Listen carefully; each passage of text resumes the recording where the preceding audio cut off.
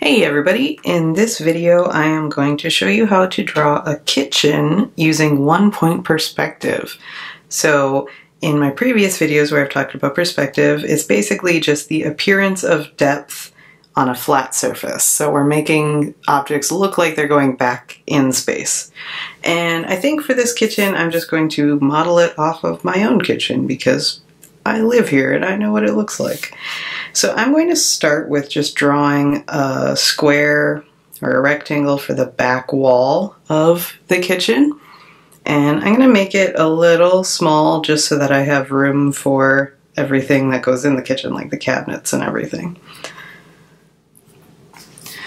Alright, now that I have the back wall drawn here, I need to find the vanishing point. So the vanishing point is always at your eye level, so it really could be anywhere on this back wall here.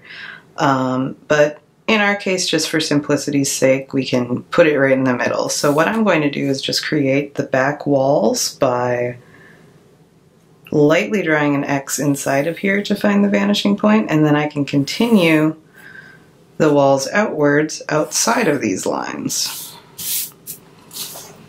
So I draw the X lightly on the inside because I'm going to be erasing that later. So it's always better to draw lightly when you know you're going to be erasing.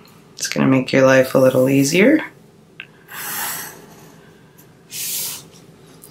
Alright, so now we know the center point here is our vanishing point.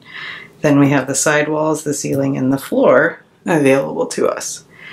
So at this point, we can start drawing in our features of the kitchen. So my kitchen's pretty narrow like this is, and I've got cabinets up on top, and the sink here, there's a window here, my fridge and my stove are right here. So I'm just going to kind of work from that, and basically we'll just be using the principles of perspective to kind of help us create these forms that are three-dimensional in an accurate sense. So if you think about it, um, we're basically just making a bunch of boxes because cabinets are essentially just boxes. So is a fridge, so is an oven.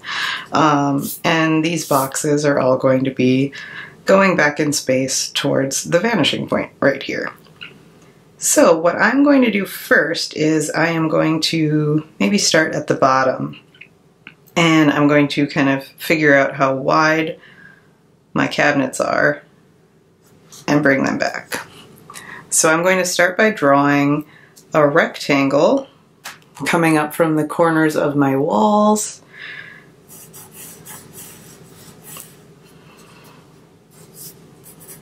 And this rectangle is facing us. It's the side of the cabinets.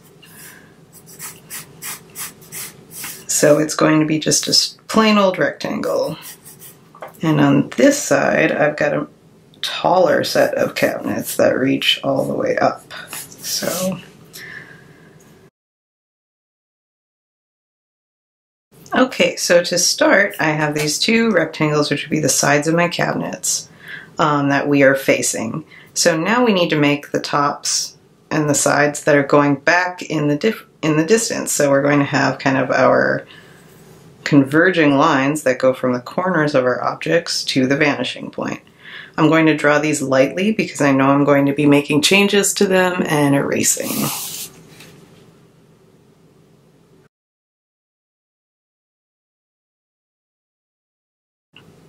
Okay, from here I'm going to make the front cabinet where my sink is. So this is a little tricky in that we need to make sure that the um, countertop is actually coming out from the wall so it's not flat. So what I'm going to do is I'm going to go from this line here, or this sort of meeting place between the converging line and the wall, and draw a parallel line going straight across, and that's going to be the back of my cabinet. Okay, so I can erase these extra lines here because that's just the wall now.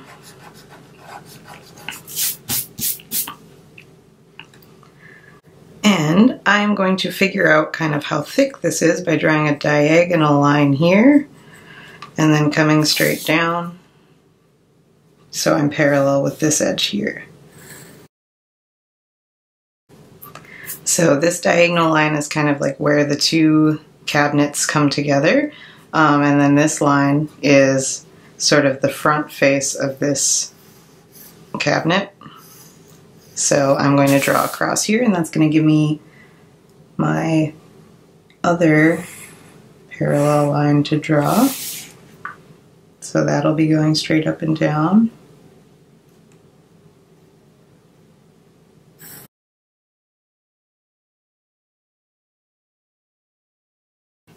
All right, and then on this side of my cabinets is where my fridge is. So I actually have kind of some breakup here. I've got one little set of tall cabinets. And then I have my fridge, so I'm just going to draw another parallel line here. And the fridge doesn't go all the way up. It's got a set of cabinets on top of it. So I'm going to draw a converging line to create the top of the fridge and also the bottom of the tall cabinets.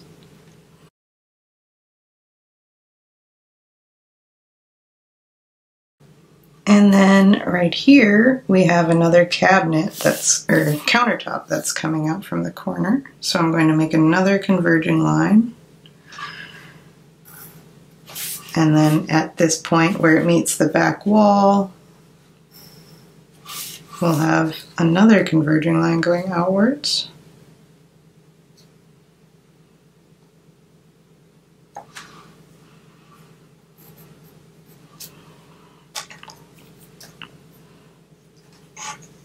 And from here, I'm going to finish making my cabinets.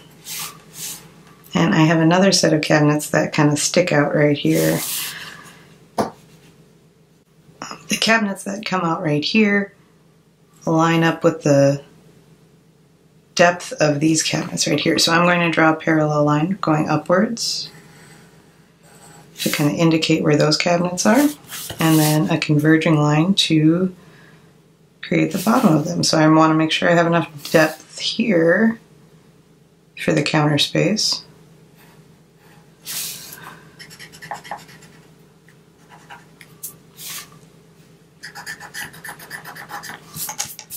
Okay, so we've got one side kind of blocked out. Now we can move on to creating the cabinets that are on top here. So again, we're going to start with this rectangle, but up here to indicate where the top of the cabinets are. And it's the same depth, so I'm just going to continue the line upwards. I'm going to lightly draw a line across here to tell me where the top is because it's parallel.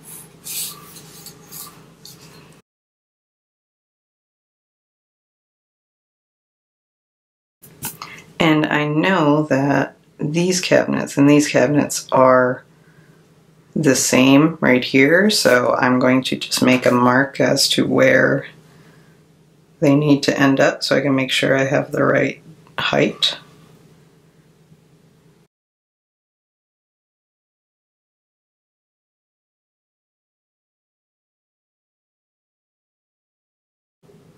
Okay, from here I'm going to start adding in other details like the cabinet faces, um, the stove, the sink, window, all that sort of thing.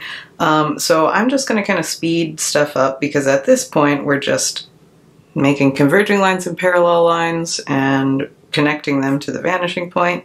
Um, so I've kind of explained the main processes at this point.